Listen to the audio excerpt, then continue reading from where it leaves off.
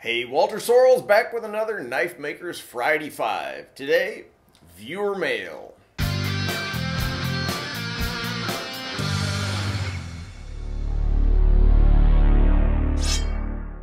Today, I'll be answering some viewer questions that I think will be of general interest to you guys, but first, a couple of announcements.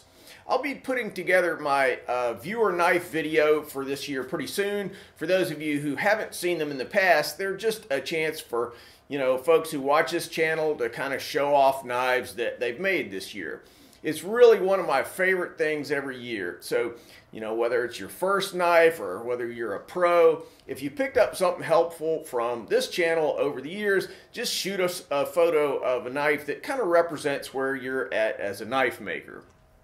I'll release the video in uh, January, so that's giving you about a month to get some photos to me. Just email them to uh, the address down below. So one important thing about whatever photos you send to me, just make sure they're as high quality as possible, high uh, resolution. You know, the better lit they are, the cooler looking your knife is going to be, and the more likely I am to put it on the video. So hope to see plenty of pictures of you guys' knives. Really looking forward to that. Uh, another quick announcement. I've gotten some requests over the years to release some merch for guys who dig this channel. Finally got around to doing that, so check out the merch down there. You know, it's fun to wear. It helps me help you by making more videos. Um, I've got a few Walter Sorrells Blades items and a few Tactix Armory items for uh, those of you who don't know, um, that's my line of semi-production, mid-tech, whatever you want to call it, uh, knives. So, turning to viewer questions.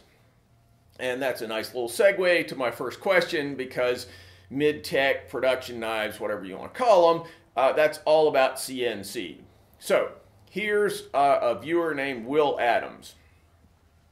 I was hoping, by the way, I'm reading this off a teleprompter, so that's why I'm not looking down at my notes. But anyway, uh, Will says, I was hoping you could point me in the right direction. I want to learn to use a CNC mill. My local community college offers several courses, but I'm not sure which ones would be most helpful.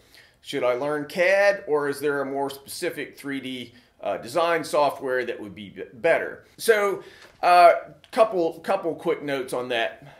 The first is there are two chunks to CNC programming.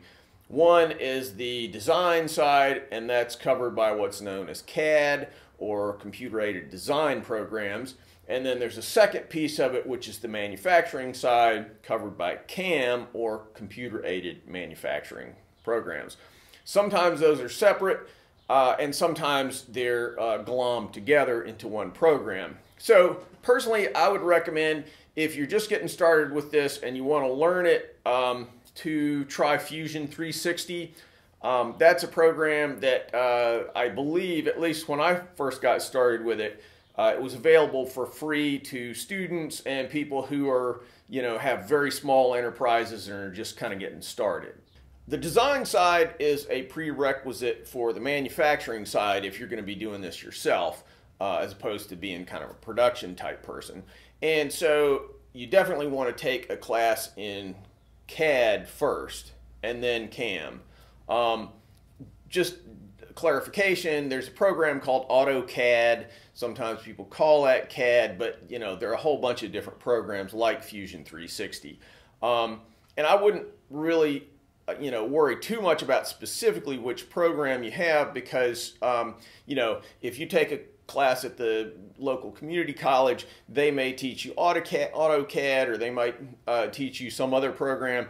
Doesn't really matter because once you learn that program, you know, you can kind of transfer that to some other program. I'm not going to say that learning how to do the design side is easy, but personally, I didn't find it that hard. If you screwed around with draw programs and stuff like that, it's not that it's super intuitive, but it's not super crazy hard either. To me, the hardest part is the manufacturing side. Now, if you have some kind of really deep background in machining, then obviously that gives you a, a big head start. And I had done some uh, milling and some, you know, manual milling and manual lathe work before I ever got started on doing CNC work myself. But, you know, honestly, it it doesn't translate exactly. So there's a pretty big learning curve to this stuff. Key point with the CAD, I mean, with the CAM side, the manufacturing side, which again, I recommend you learn that second, uh, is that you have to do it on the machine. It's not good enough to just you know, read a book or whatever, you know, take a class and do it all in the classroom. You really have to have hands on experience with the machine. There's a really recursive sort of process where you learn how to do something, you go put it on the machine, you screw things up royally, and then you learn how to fix your problems and make everything faster and kind of optimize your tool paths and, you know, figure out different types of materials that you're working with uh, it's just not a notion. It's a long term process. If you want to get into CNC, it's a big deal. It takes a long time. You're going to have to spend some money on the machinery. That's just the way it is. But if you do go down that route, it's very satisfying. And, you know, from a production standpoint, lots and lots of cool things you can do with it. So I'd encourage you to give it a whirl and, uh, you know, take a couple classes, see where you go with it. Okay, so next question is from John Craig, a Patreon subscriber. Now, quick note about Patreon if you aren't familiar with that, that's a way for you to support this channel or other channels that you find uh, to be cool. Uh, link in the cards in the descriptions uh, so you can help out there. I also, by the way, give you access to all the plans for all these different uh, videos that I do. So there's some benefits to you besides just the good feeling you get of supporting this channel. Okay, anyway, so a question from uh, John Craig here, Patreon subscriber. My son came to visit yesterday and he said, Dad, I found something that you'll love. So he uh, came over and he gives me a one inch round steel bar, six inches long, I mean, six feet long so the question John's asking is, is there anything, is there any way that, you know, I can figure out what this is, or do I need to just cut a piece off of it, heat treat it, and see what happens? So the question is, uh, or the answer is, that's exactly what you have to do. Uh, unfortunately, without a lab, uh, you know, you really can't determine exactly what it is. There is something that you can do, which is using, you know, a belt grinder to grind it and analyze the sparks that come off of it.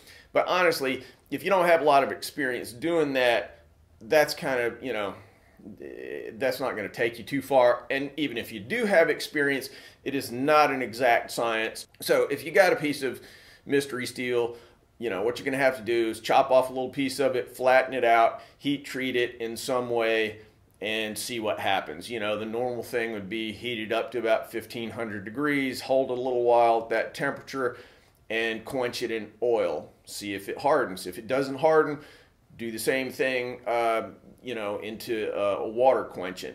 Um, but beyond that, you know, you really are not going to know what you're dealing with, and it's going to be pretty hard to optimize for that particular steel. Not a reason not to do it, but, you know, uh, mystery steel's always an inexact thing. All right, next question from a viewer named Devin. Uh, now, Devin had asked me a series of questions uh, about an axe that he was working on. Um, and so these two questions are kind of the most recent ones. They both seem to be things that would be kind of more generally applicable to uh, you guys out there. So basically, he shaped his blade. Uh, and so now his question is this. Now I've got it sharpened uh, very sharply. Is it too late? Is it too late to heat treat? And he's got another question, uh, which is, you know, he, he's trying to figure out how he's going to uh, make the handle. This is an axe, or you know, hatchet kind of thing. So it's got a long handle. He says, um, does anybody sell knife scales 11 inches or longer? Okay, so um, as to the first question, uh, there's no no amount of sharpening that makes it impossible for you to heat treat anything, whether it's a knife or an axe or whatever. There's some people who like to heat treat things after a knife is completely shaped, uh, and there's some people who want to shape it after it's totally heat treated. The disadvantage of heat treating uh, after it's been heat treated is that uh, the steel is much harder. It's harder to grind, and also, especially when you're sneaking up on that edge, it's uh, pretty easy to overheat it and screw up the temper of the knife. The advantage is that it's never going to warp. Um, my feeling is that you know now most guys who do uh, air quenchable um, steel plate quench, which is smashing the um, knife or whatever it is between uh, a couple of plates, which keeps it from warping. So you know, I would say most people now, not not everybody, but most most guys probably tend to heat treat after they've got the knife pretty well shaped. Uh, beyond that, I will say most people don't take it to a complete sharp edge before they heat treat it. The reason for that is that you tend to get a little bit of decar decarburization on the edge, and that's going to compromise the strength of that edge. That said, um, you know, if you, most normal heat treating regimens, uh, the decarburization is not going to be super deep, and so if you did sharpen it, you know, you can just grind off that last teeny weeny little edge, resharpen it, and all should be well. Turning to the second question, um, there, you know, micarta is made in huge, huge sheets, four by eight sheets typically. Um, that's four by eight feet. So, um, you know, there's no reason that, that you have to buy micarta in scale sizes. Um, you can find it usually from knife making supply houses in one foot by one foot pieces.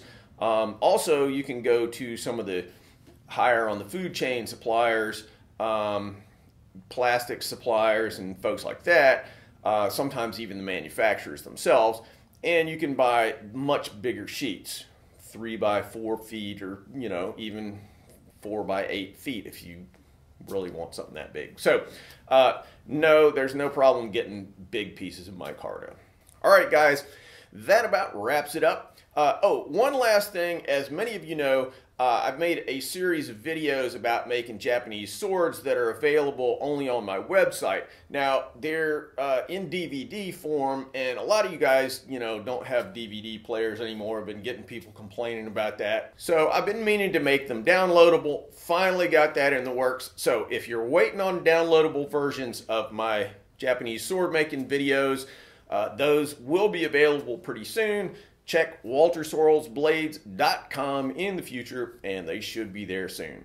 All right, thanks for watching, and keep making those knives. Thanks for watching, guys. If you like what we're doing here, please subscribe and make sure that you click on that bell so you get notified of all the latest videos. Want to buy a knife from me? Check out my modern blades at tactixarmory.com. Digging the channel? You can support our video making efforts on Patreon. You know, I've been banging away on these videos for like 10 years, so I hope you'll show some love for all that hard work. Link in the cards and descriptions. Finally, if you're interested in making Japanese swords, check out my full line of Japanese sword videos where I show how to forge Japanese swords as well as how to polish them and how to make fittings, handles, and scabbards. Walter Sorrells Blades com.